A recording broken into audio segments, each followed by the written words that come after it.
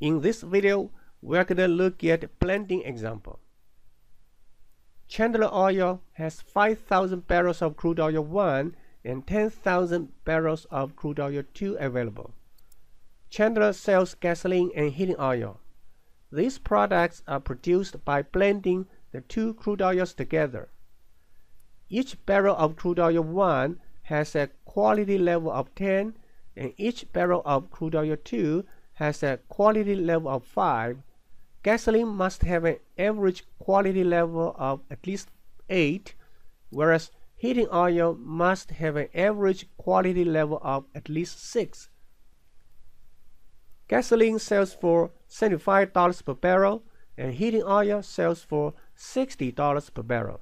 In addition, if any barrels of the crude oils are left over, they can be sold for $65 and $58 per barrel respectively.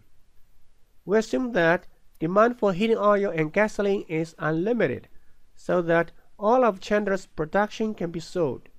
Chandler wants to maximize its revenue from selling gasoline, heating oil, and any leftover crude oils. Next, let's see how we can model this problem algebraically. Here is how I'm going to define the decision variables. GI is the barrels of crude oil I used in gasoline. I is either 1 or 2, and HI is the barrels of crude oil I used in heating oil. I is either 1 or 2. As a result, G1 plus G2 is the total barrels of gasoline. H1 plus H2 is the total barrels of heating oil. To maximize revenue, we have the following objective function. 75 times the sum of G1 and G2 plus 60 times the sum of H1 and H2 plus 65 times 5000 minus G1 minus H1 plus 50 times 10,000 minus G2 minus H2. The first term, 75 times the sum of G1 plus G2 is the revenue from gasoline.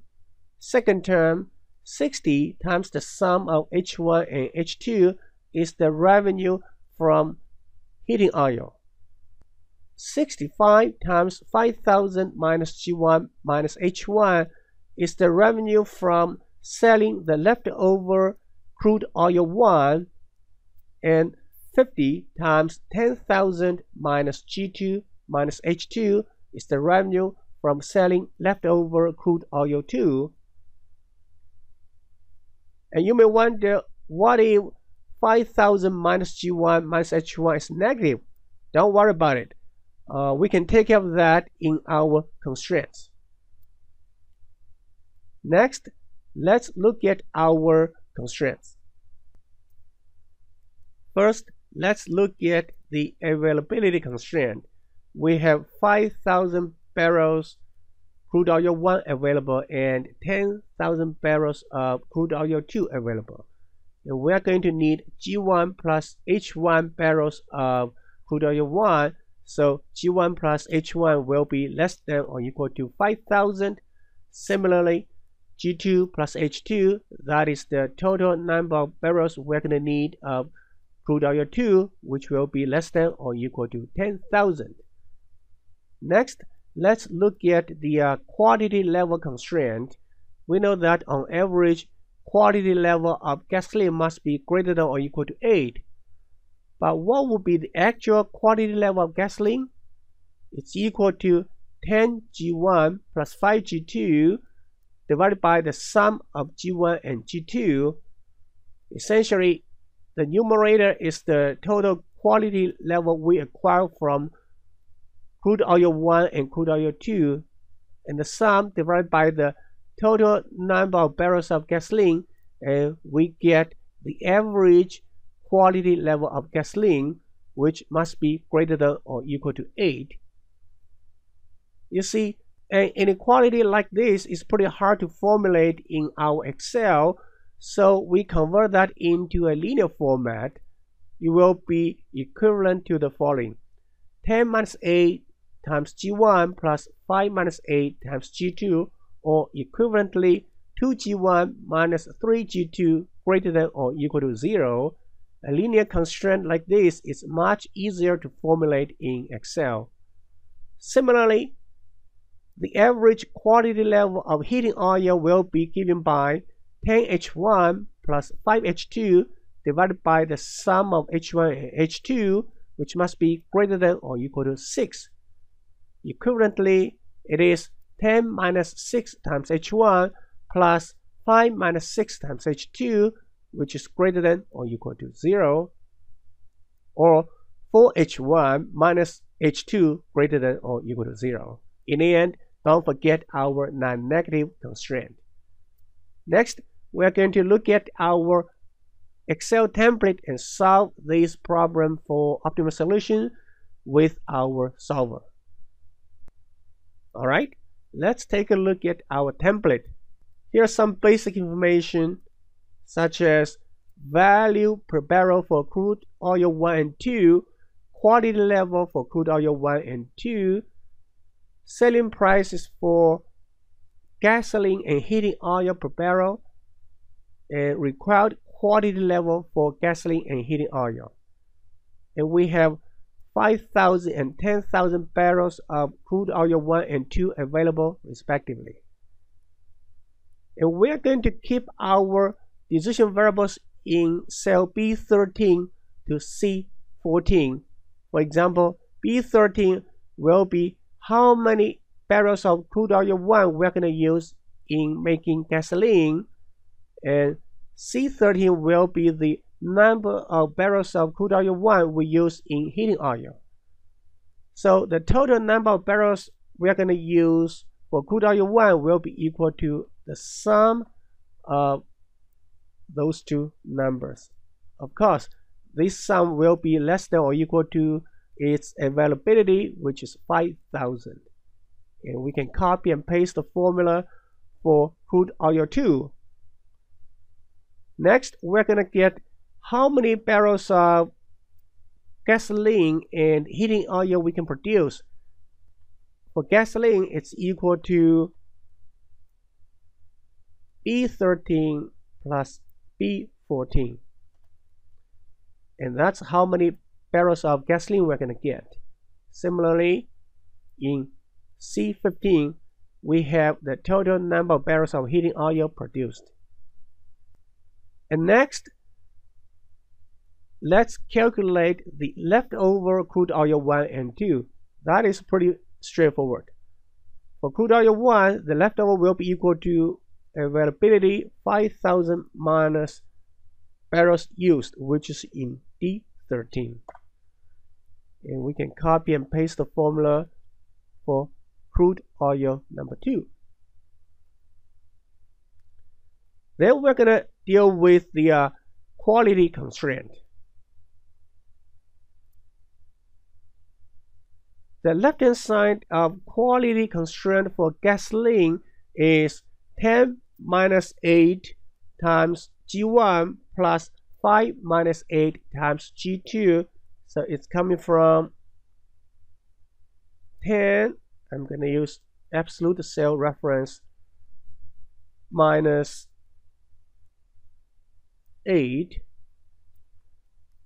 times G1 plus 5 absolute cell reference minus 8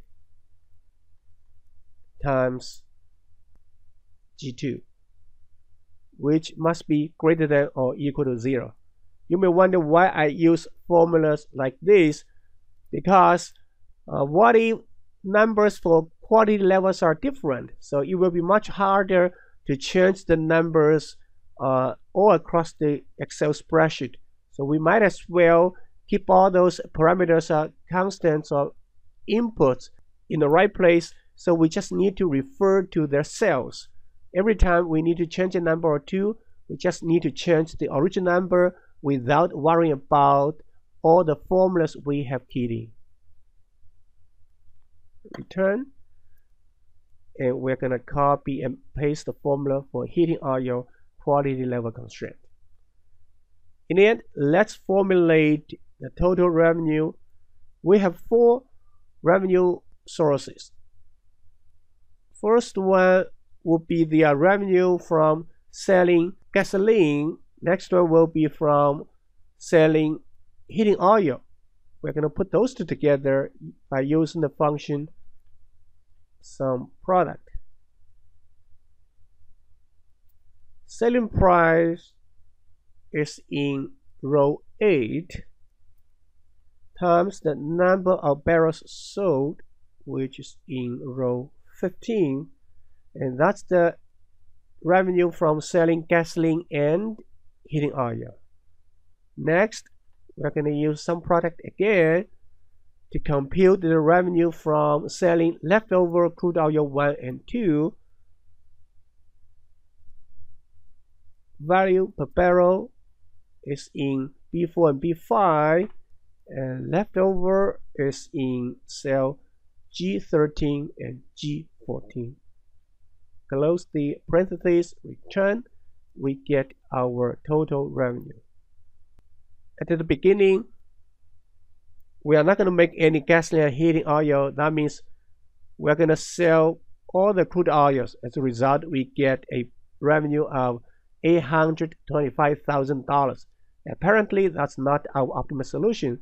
So let's launch our solver and find the optimal solution. Okay, our objective is in cell B24. That's our revenue. We would like to maximize it by changing those four decision variables. Next, let's add constraint. Barrels of crude oils used must be less than or equal to available barrels. Add, and then quality constraint. Cell B19 and C19 must be greater than or equal to 0. That's all the constraints we've got. Click OK.